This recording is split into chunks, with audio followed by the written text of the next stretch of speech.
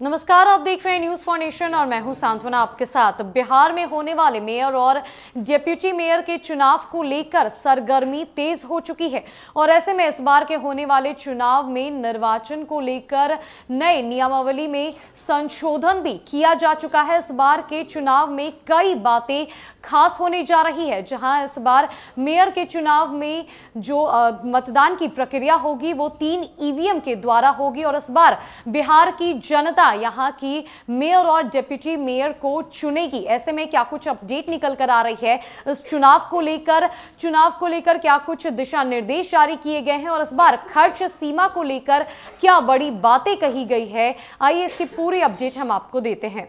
राज्य में मेयर और डिप्टी मेयर के चुनाव के लिए निर्वाचन नियमावली में संशोधन किया जा चुका है। राज्य निर्वाचन आयोग नई संशोधित नियमावली के आधार पर इस बार शहरी निकाय का चुनाव कराएगा। खास बात यह होगी कि मेयर और डिप्टी मेयर के पद पर चुनाव लड़ने वाले प्रत्याशियों की खर्च की सीमा तय होगी। चुनाव में वे कितना पैसा खर्च कर पाएँगे, यह तय किया जाएगा।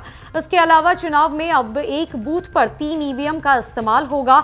एक वोटर तीन वोट देंगे। एक वार्ड काउंसिलर के प्रत्याशी के लिए, एक मेयर के लिए और एक डेप्यूटी मेयर पद के प्रत्याशी के लिए नई नियमावली में इसका ज़िक्र होगा। सूत्रों के मुताबिक नगर विकास एवं आवास विभाग द्वारा निर्वाचन नियमावली में जल्द संशोधन किए जाने की उम्मीद की जा रही थी, जिसको लेकर अब संशोधन किया जा चुका है। बता दें कि नगर पालिका चुनाव का कार्यकाल जून 2022 के पहले सप्ताह में पूरा हो जाएगा। इसको ध्यान में रखकर ही चुनाव कराए जाने की संभावना है। कोरोना के संक्रमण दर में गिरावट और स्थिति अनुकूल रही तो चुनाव तय समय पर ही, यानी अप्रैल, मई में करा लिए जाएँगे। राज्य निर्वाचन आयोग ने भी नगर पालिका चुनाव की तैयारी शुरू कर दी है। सूत्रों के अनुसार, जिलों से पिछले दिनों उत्क्रमित और नए शहरी निकायों की जनसंख्या का ब्यौरा मांगा गया था। नगर निकाय चुनाव में इस बार कई नए क्षेत्रों में भी मतदान कराए जाएँगे। नगर विकास एवं आवास विभाग ने करीब एक सौ सड़सठ नए नगर निकायों का गठन, उत्क्रमण क्षेत्र एवं विस्तार किया है।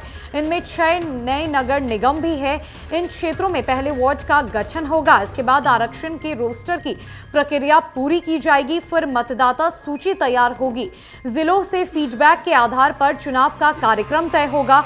सूत्रों के अनुसार नगर निकाय का चुनाव एक ही चरण में कराने पर विचार किया जा रहा है। चुनाव ईवीएम से ही होगा।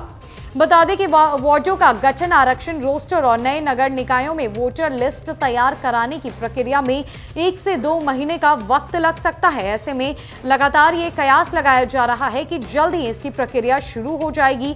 नगर निकाय चुनाव में नाम वापसी के 15 दिन बाद वोटिंग का प्रावधान है। कोरोना को देखते हुए नगर पालिका चुनाव में एक बूथ पर वोटरों की अधिकतम सीमा 1000 तय की जा सकती है। ऐसे में इस बार बिहार में होने वाले मेयर और डिप्टी मेयर के चुनाव में कई बड़े बदलाव किए जा चुके हैं।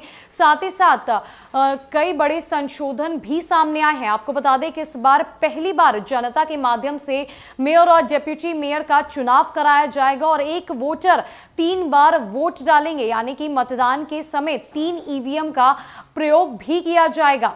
फ़िलहाल के लिए इस खबर में इतना ही। है कई अपडेट्स के लिए हमारे साथ बने रहे न्यूज़ फॉर में। नमस्कार।